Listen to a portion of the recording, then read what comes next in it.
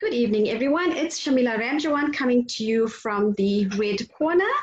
And today we speak to the warrior queen and a survivor, Lynn Hill. Hello, Lynn. Hi there. How are you? I'm good, thank you. Looking as gorgeous as ever. I thought I'd match the wall, darling. I thought I'd match the theme of the show. And so I decided on red again. that is amazing. Well done. Well, I, today I'm matching the plant. All good. Hashtag balance. yes, yes. So um, I'm, I'm, sure everybody wants to know who is Lynn. So do you want to maybe tell us something about Lynn Hill? Well, she loves to inspire and she loves to use every single medium and mechanism possible to do that. Um, she does it through the art of speaking and writing.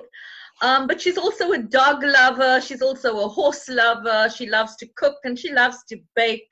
Um, she's a mom of two beautiful I wanted to say babies. Um, the one baby's 33 and the other's 26. So I guess a mom of two beautiful, um, functional, self sustaining adults. yeah. Wow. So I'm blessed. Wow, that's amazing. So, how do you actually, so young? I follow your footsteps. I follow your example. Um, I think you are uh, a few years my senior. lots of water, lots of exercise, um, and loving life. I think loving life and passion and, and, and doing what makes your heart sing and your soul happy. Um, I think that that really is is rejuvenating in itself. Yeah. I think just believing in yourself is the road to success. Absolutely. And if we don't do it for ourselves, Shamila, no one's going to do it for us. And um, I think, you know, the sooner young women can get to understand that, um, the better. That at the end of the day, your greatest resource is your inner resource, and that is self and passion and vision and and the will to want to the will to want to succeed the will to want to triumph over adversity so absolutely, yeah. So Lynn, the warrior woman that I know, the survivor, do you want to take us through the trauma that you went through with rape and violation? The first was so brutal that you crossed over but didn't die. Do you want to maybe just tell us a little bit about that? Um, the first rape happened when I was only 15 years old. I was raped by someone who belonged to my church. Um, the brutality was of such that the police thought a train had ridden over my face. And yes, I was tortured for 45 minutes to a point that I lost consciousness, crossed over, and then um, I guess it was divinely decided that um, my mission, my earthly mission, um, was not yet fulfilled and so um, that was really i think a defining moment um, in in in really articulating a trajectory that would become inspirational. Um, you know i'm often asked how did you manage to go through all of that and still reach a level of triumph? And just in, in prep mode for a radio interview this morning it was not the triumph and it's it's not my achievements. I think that now is just a byproduct of purpose. I just relentlessly and doggedly pursued against all odds a purpose that was placed inside of me. And I believe that I was not spared from death simply to tell the story um, and rehash the story. I think it was really to share the lessons against which this context and, and, and the lessons that led me to transcend um, from victimhood to victory and and that is my purpose and that i've done consistently for so many years. Not always sharing my story. I didn't share it in my unhealed state. It took me many many years to kind of just be a trainer um, and a speaker without touching on my story because I never wanted my story to become a reason for my professional credibility. I wanted my professional credibility first. And I owned that with all of my heart. And somehow the timing was perfect that when I had owned that, I was also sufficiently healed. Um, and, and that is when I started to share my story. Yeah. That is you know, when I hear stories like this, I'm lost for words because um, look at your journey, you know, how far you've come and um, what you've accomplished. I think that is incredible and uh, well done to you. Do you want to maybe take also, us? Sorry, yes. Yeah. You can go. No, I was I was just going to say, Shamila, that um, as much as as I've worked towards the triumph and I have doggedly pursued my purpose, I sit here this evening as a representation of so many women who need to be honored um, for their strength, who never get a chance to be interviewed, who have gone through hell um, 10,000 times more than, than I have. And there are those women um, and and so I sit in the space really representing them. Thank you for that. You know, I've created this platform for women like yourself to come forth and share stories with the rest of the world because I think it's so important. You know, you could make such an impact on someone's life by just sharing your story. So, Lynn, uh, redefinition, rescripting, demystification are key for both men and women. Why do you think so, and when must this start? I think um, one of the, you know, the notion of um, gender-based violence as and, and just looking at it in isolation, um, there's there's such a misperception about it because I believe gender-based violence is really an effect of something. So gender based violence really becomes an effect of a root cause. And I identify that root cause as the absolute misconstrual of supremacy and power based on gender or an entitlement that is basically linked um, to a gender.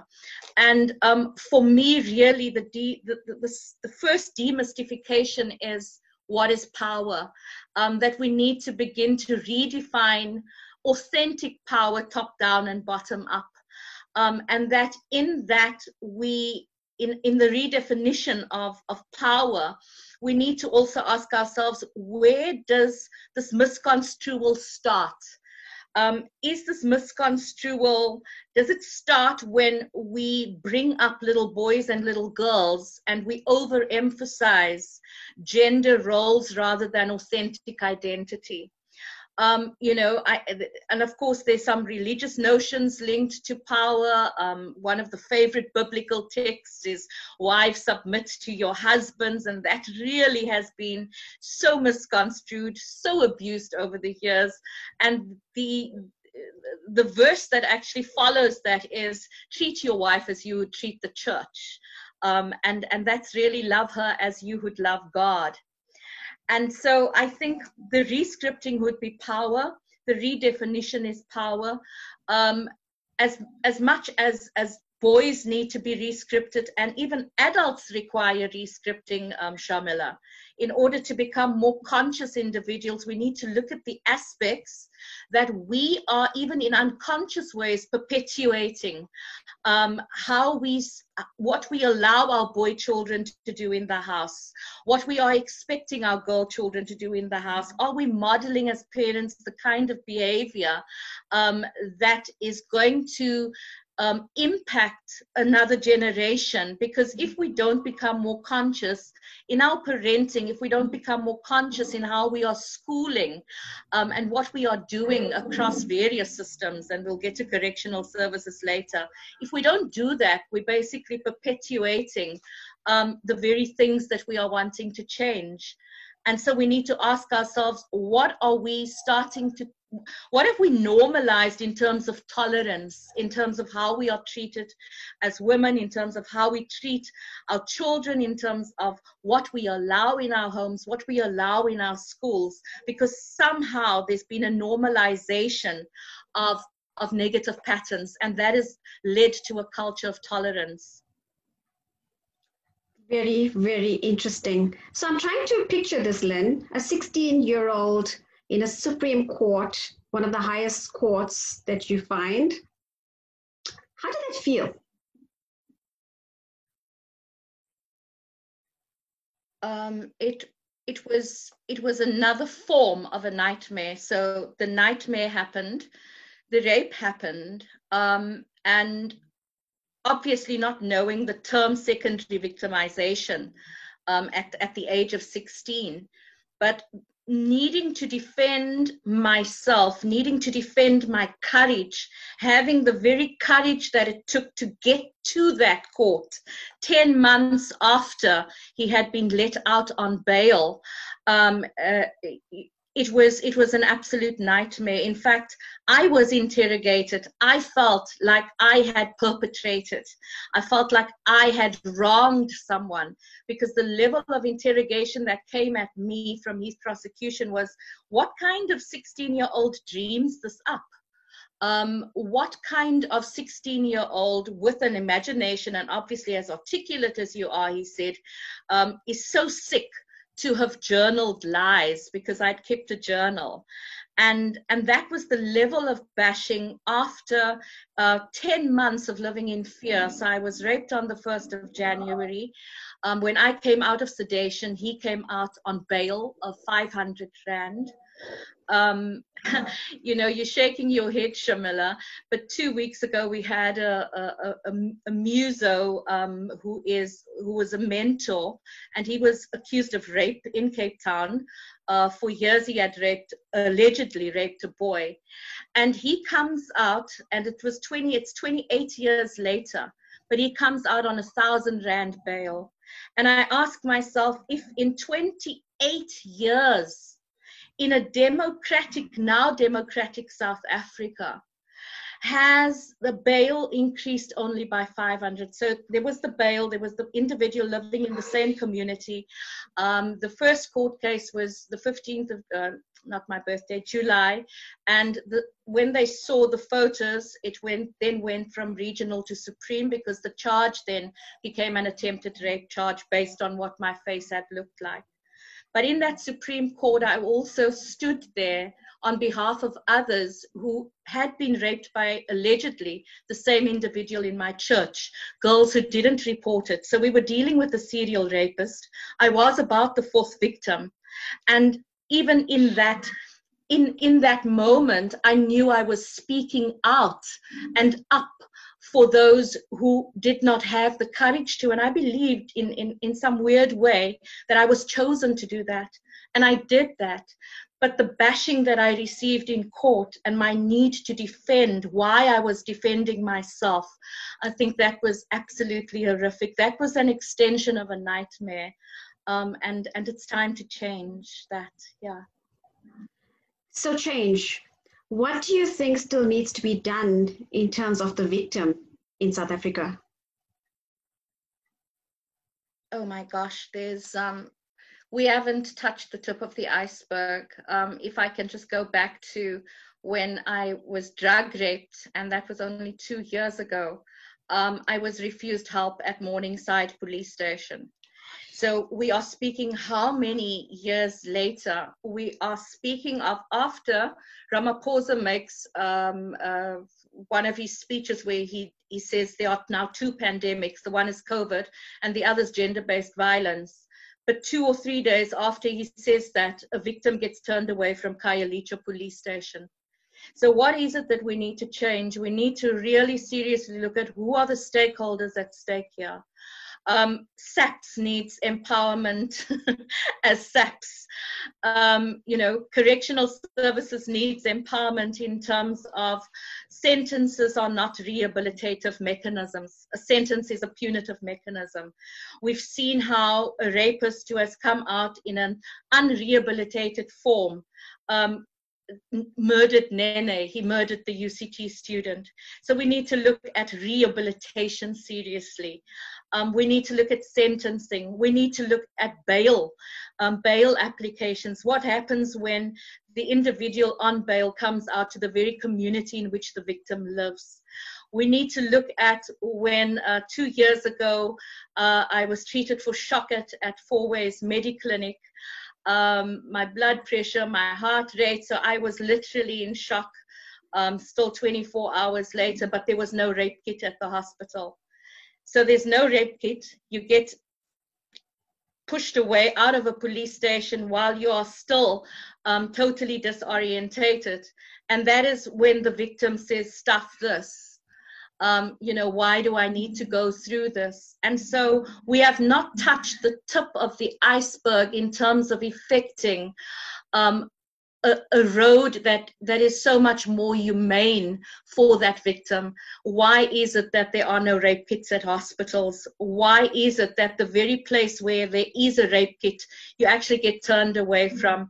Beyond that experience i found out that there's something called a skeleton um, document that you can go to any police station. You don't need to go um, you know in the region.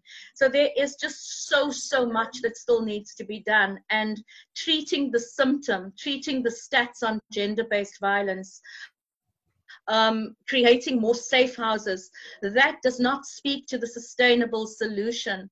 If we create more safe houses, we also need to create economic, empowering opportunities for these women. We want women to speak out, but once they speak out, then what? How safe are they? Um, and once they are safe in a safe house, why is it that they're only given the option of beading or doing something that speaks to entrepreneurial development? Every human soul has wings and was born to fly. And I believe that if we are not economically empowering victims of sexual violence and abuse, we are not we are not empowering them at all because counseling is psychologically empowering but it is not economically sustainable. And we need to create moments where economic sustainability and psychological empowerment are really going to intersect. Um, how else do you change a woman's life? Women stay in those situations because that perpetrator, if it's if, if it's domestic violence, he would have created um, a, a, context where she feels defenseless, where she feels powerless, and um, you know just reporting it in the absence of a support system, in the absence of a job, um, that's not going to create change for her in pretty much the same way as if we if we don't change prison sentencing if we don't change bail if we don't look at it from a correctional services perspective um, why why would victims want to report? And so we really really as a nation need to get so so serious um, about the root cause of this thing and addressing it. And and and we need to become absolutely cognizant of what we are prepared as a nation to continue to tolerate. Um, yeah. I just want to go back a little bit because you mentioned that when you had the second incident you went to morningside police station and they couldn't help you. Take me back yeah. on that. Why couldn't they help you I can't understand that. In fact, um, in fact, I was I was saved by a group of women because I was dumped in a parking lot, and um, I was obviously um, still pretty much out of it. And uh, I was saved by a group of women who came across me, and um, they actually, you know, they took over and and literally rescued me and they took me to the police station. And the police in fact these women um, by that time i asked them to google me. Um, they had smelt my breath which was not reeking of alcohol. They had identified that i was drug raped. They were crying literally crying for me. And they took me um, to the police station and um, the one officer apparently you know he just he just looked at me and he said she's too intoxicated uh, to be to be helped. And um, they begged him. They cried. They begged him. And um, eventually they just walked away. They walked away, scooped me up, and walked away. And um, I just never had who wanted to go back? Um, and for what and uh, on top of that obviously was was was Fourways mediclinic that doesn't have a rape kit. Um, and you combine two of those components you combine that plus a woman who is in shock um, whose heartbeat is irregular whose blood pressure is rocketing to a point of stroke um, and and that was that. And i just needed to maintain sanity. I had three deadlines to meet. I was in joburg on a business trip we had lunch that afternoon. Um, i only told her two weeks ago um, and i had three deadlines in johannesburg. I had my media deadline. I was covering 17 newspaper titles. I had a woman of um, Impact Speaker Bureau Premier Speaking launch on the Wednesday, and on the Friday I had a television interview. And I told myself that I could only feel after I had done all of that. Um, yeah, and I did. With God's grace, I actually did. Um, I was, yeah, I was in shock. Um, I was going through involuntary panic and, and anxiety for about 30 days after that, and I stayed in Johannesburg for that entire duration. Um, I did not want my parents to see me in the state that I was, nor my children. So, wait a minute. So, you've just been raped, you have deadlines to meet, and you get on working with it, with whatever you needed to do. Lynn, you are a warrior woman. Um, I think for me, it was really what I did at, at 16 or at 15. I did that very moment. And at 16 or 15, it took me a few months to get there. But when I got what I was supposed to get, that the intention of this violation was to disempower my mission on this earth. I used every bit of reserve strength that was left in my shocked state. And I decided that no second rape, nobody and no one, and no intention, no sabotaging intention that was behind this was ever going to get in the way of my earthly mission, which was not yet fulfilled. And today, just on the radio interview, I used a mantra, and it was um, it was pain amplified, purpose magnified. And so as I went through that pain, which was amplified, um, the only sense I could make of that is that my purpose on this earth and my calling in that moment was was magnified. That was the only sense. I was there was nothing about me that was cheap. There was nothing about me that was um, impure. In fact, the irony on both counts, 15 and 51, was that with 51, I was saving myself for my future husband. And, and, and, you know, that was the question to God. How possibly again will I be chosen in the purity that I embody to go through this. Um, and the only sense was for moments such as these, Shamila. Wow. You know, I, I'm trying to visualize this, not just once, but twice. And I'm trying to associate the trauma around all of this. And you've come out so strong. So you have this vision of working with correctional services. What do you have in mind? Well, COVID has had me have all of this time to come up with um, a few creative things, of which correctional services was one. and it was really, you know, um, particularly looking at gender based violence um, during COVID, the fact that it increased, the fact that there's a causal effect um, between um, the, the um, abuse of alcohol and gender based violence but really then saying, okay, the only way that we're going to deal with this as a nation um, is to look at it systemically. And I think, um, you know, on a day it was what can what can i do how do i because right now i've inspired i've written the book um, which was never ever only going to be for bookshelves. In fact when i wrote the book i knew i wanted the book to land in the hands of rapists. I knew i wanted correctional services to buy in um, to either having it in their libraries or utilizing it in, in conjunction with. And I came up in COVID with um, a program called From Rapist to Role Model. And I think my ability and my willingness to now step in, roll up my sleeves, go in and share my poetry, share my experiences um, with rapists um, is, I think, my highest expression of forgiveness and release.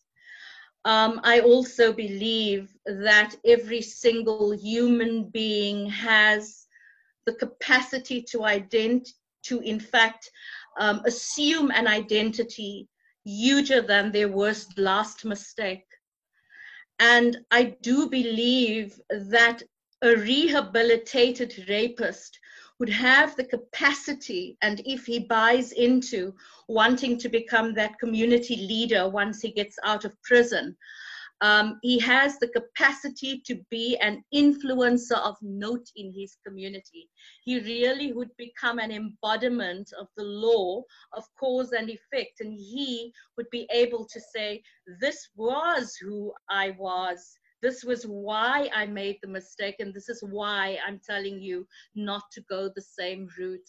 And I think that, you know, if we can, if I can get that right, I think then I'd actually smile at legacy because I'd want that to live on.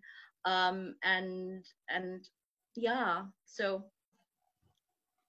I'm in awe. Here, a woman gets raped multiple times and she now basically has forgiven the rapist because now you want to go into the prisons and educate them and talk to them about rape and rehabilitation. I'm absolutely in awe. Lynn, I have no words to say. I mean, you are such an incredible human being. I guess for me, it's really, um, it's really, you know, it's the sense of me making, making sense of why I, why I didn't die on two counts. On the first count, it was brutalization and torture for 45 minutes. On the second count, it was seven hours of my life unaccounted for. And in that seven hours, I could have been trafficked. Um, in that seven hours, and I believe I must have been dosed and overdosed and dosed again um, for me to be out for seven hours. Um, but I am living, and I believe I'm living for a reason, not just far greater than my dying now, but right now I'm living for a reason far greater than simply inspiring at conferences um, and simply writing more books. Yes, they are there and, and they're waiting. Um, and I think rolling up my sleeves, going into prisons and, and helping them redefine what power is, is really part, um, an integral part of the systemic solution. What happens if we don't do that? Um, where is the reparation going to be? What happens in the absence of really, truly focusing on rehabilitation? Um, we will continue to treat the effects and not the root cause. And the root cause is a misconstrual, which happens even in prisons. You know, rape is is a it's it's a mechanism of power. And I, if I can change the narrative of power in a prison, then I can change the narrative of power anywhere. So I, I would say we call rape a toxic violence or toxic abuse because we know in South Africa the stats one in three women are either physically or sexually abused. What would you, you've been through the trauma, what would you say uh, is the root cause of the problem? Why do they actually do that?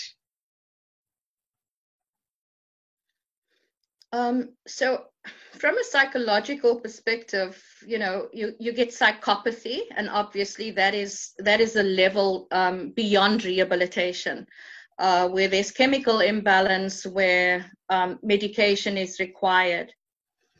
If I look at my my particular um, uh, the 15, what happened to me at 15, and how only 23 years after that happened, I was 38 when I wrote a poem and strangely, how I'm coming full circle with correctional services because I was asked to be part of a prison project um, at 38.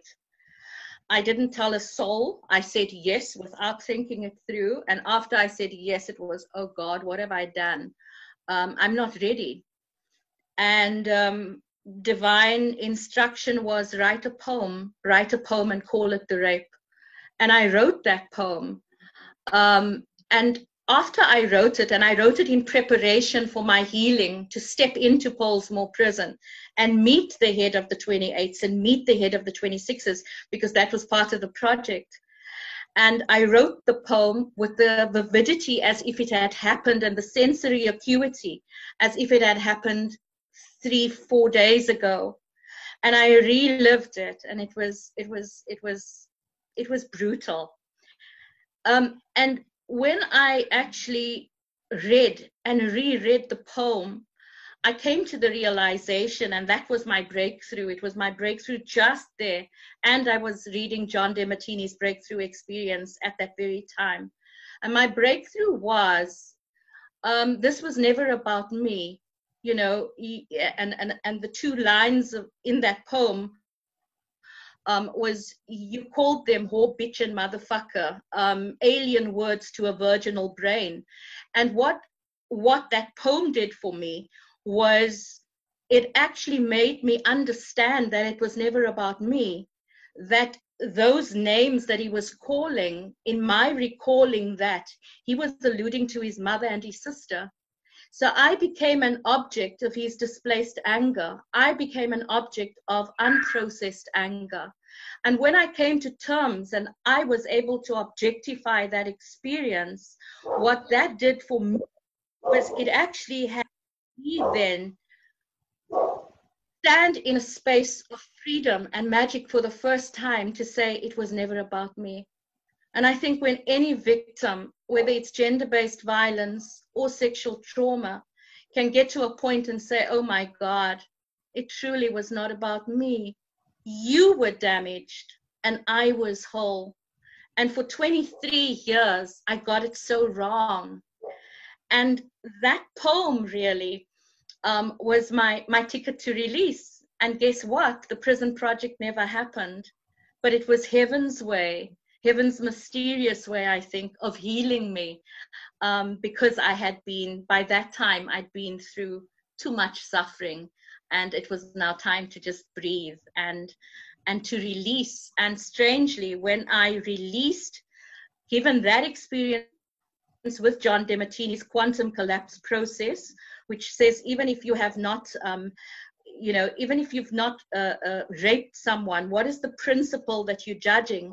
And the principle I was judging was violation because I had been violated. And um, his neutralization of the judgment is when have you ever violated anybody? So the very thing that you're judging, when were you guilty of that? And my response at that moment was, but I've not raped.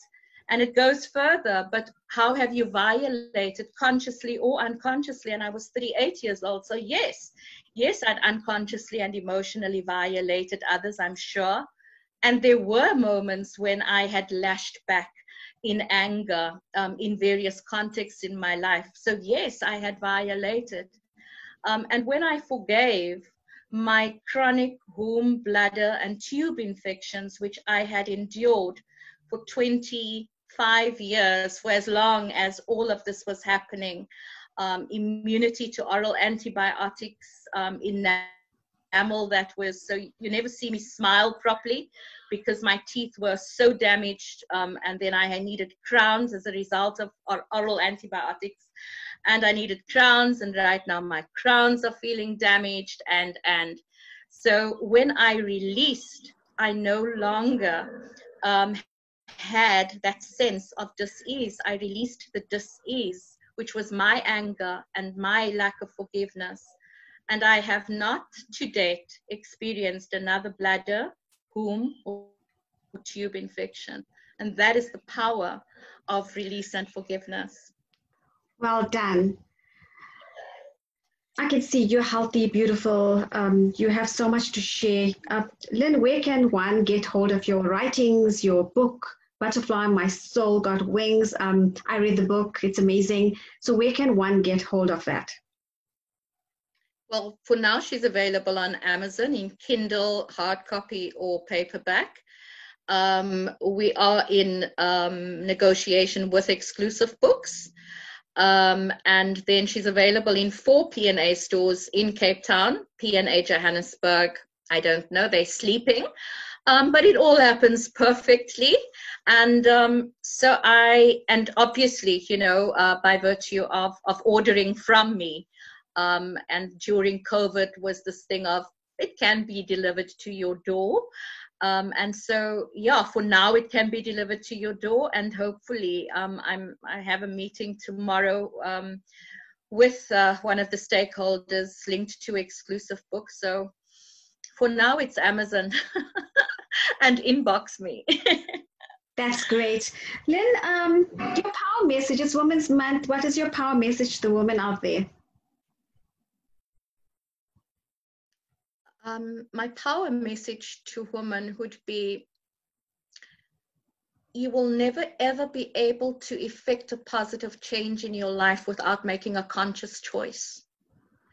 And that the quality of our choices are so inextricably linked to the value that we place on ourselves and when we come to terms with the fact that we don't have to become queens, that we were born queens, that we have divinity running through our veins, um, when we buy into our worth, we buy into what it is that we deserve. And whatever you're doing in this moment, whatever pain you're going through, or whatever you've gone through in the past, know that in any given moment, you don't have to hold yourself ransom to an old choice. And an old choice is as old as a minute ago. New choices create new realities. And as queens, we were destined to live and create the most beautiful experiences for ourselves. And that therefore nullifies the notion that we need a presence, a male presence in our life, however toxic, to either complete us or to create experiences for us. Step up, step into the fullness of the glory that is already within you because it's there.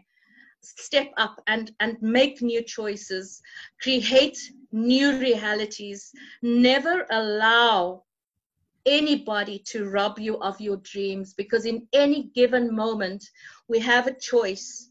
Um, the mind cannot assume two mental spaces at any one point in time. And so we can't be pitiful and powerful at the same time. And that implies that in any given moment we have a choice to be one of that. And in being one of either in that moment we get to disempower or empower victimhood or victory what a powerful message. We're going to leave it at that. Lynn, I wish you everything of the best. Continue sharing and inspiring people across the globe. You have the capability of doing it. And I'm going to follow your journey. Thank you for coming on the Red Corner Chat. Thank you. Thank you so much. Thank you for having me. It's a pleasure.